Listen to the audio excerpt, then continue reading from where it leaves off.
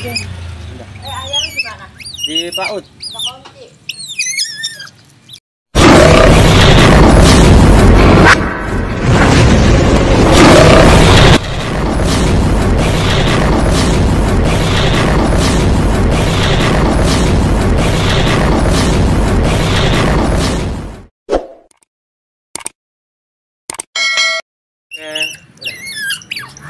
Assalamualaikum warahmatullahi wabarakatuh. Diri aja.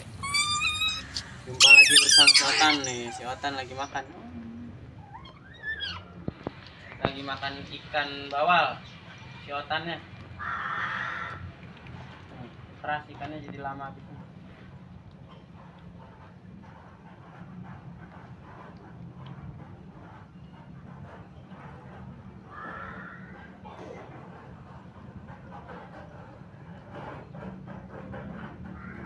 cara mengirit makan otter. Otter itu katanya terkenal hewan yang boros. Tapi kita bisa biar dia nggak boros. Caranya makannya diatur. Pagi siang sore. Jadi tiga kali makan itu sedikit kita secukupnya. Ya kalau dikasih terus ya nggak bakal kenyang. Jadi secukupnya aja. Pagi siang sore atau pagi sore.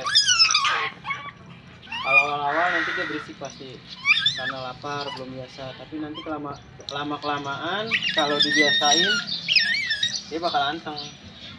Jadi dia berisik pas waktu makan doang pagi dan sore. Kalau misalkan teman-teman ngaturnya pagi sama sore nanti dia berisiknya pasti pagi dan sore. Sesuai jam makannya. Misal pagi jam 7 sore jam 5 nanti dia berisik di waktu-waktu itu. Jadi kalau awal-awal ngelatih apa sih namanya ngelatih makannya itu ngatur waktunya itu dia berisik ya wajar. Tapi nggak sampai seminggu juga dia udah nggak berisik lagi. Jadi berisiknya itu cuma di waktu yang kita atur itu jam 7 pagi dan jam 5 jadi sehari cukup dua kali makan. Gini caranya biar makannya nggak terlalu boros. Silakan makannya sehari dua kali.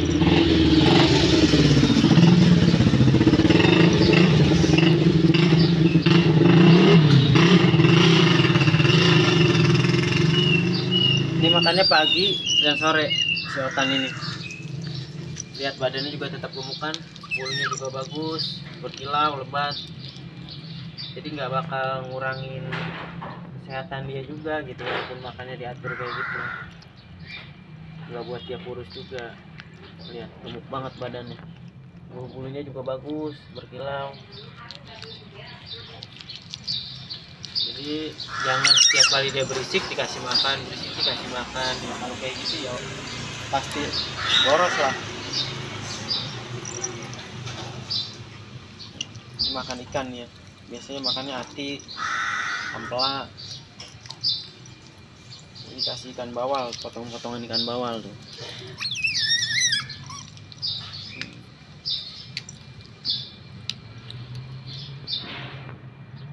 Dikasih potongan ikan bawal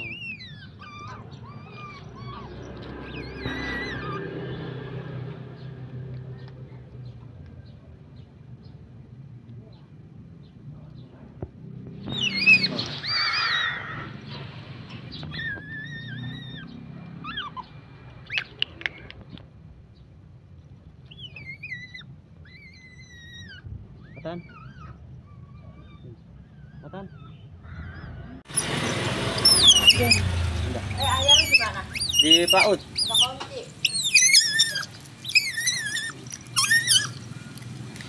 kasih makan ikan ya lautan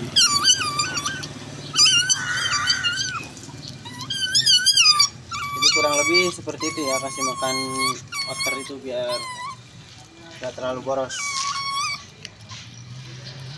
diatur waktunya. Kalau teman-teman mau ngatur pagi sama sore ya udah nggak apa-apa pagi jam 7 atau sore jam 5 kalau juga ada teman-teman yang mau ngatur waktunya pagi siang sore jadi sehari tiga kali ya bisa nggak apa-apa. Tapi si otan ini sehari dua kali pagi sama sore. Jadi nanti dia kalau berisik itu jangan dikasih makan kayak di luar waktu makan gitu. Jadi diajak main aja nanti dia bakal diem karena otter itu berisik. Salah satunya ya karena lapar dan dia pengen juga diajak main. Jadi harus rajin-rajin diajak main juga. Sehari minimal 20 menitan lah. Hutan